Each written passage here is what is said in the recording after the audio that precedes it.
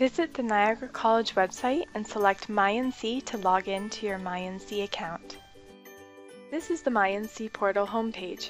Some options may not be available if you have not yet confirmed your offer of admission or paid your fees. To select your timetable, access your grades, print your tax receipts, and much more, select Dashboard.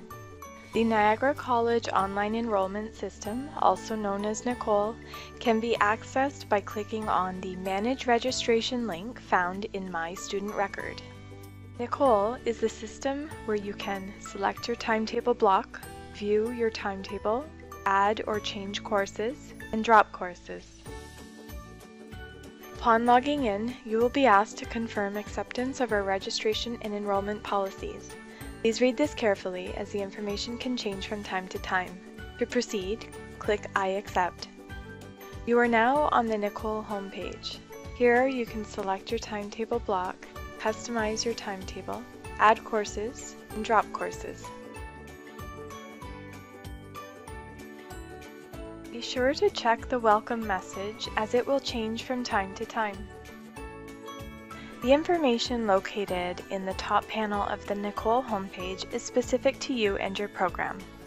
Please make sure the information contained in this panel is correct before proceeding.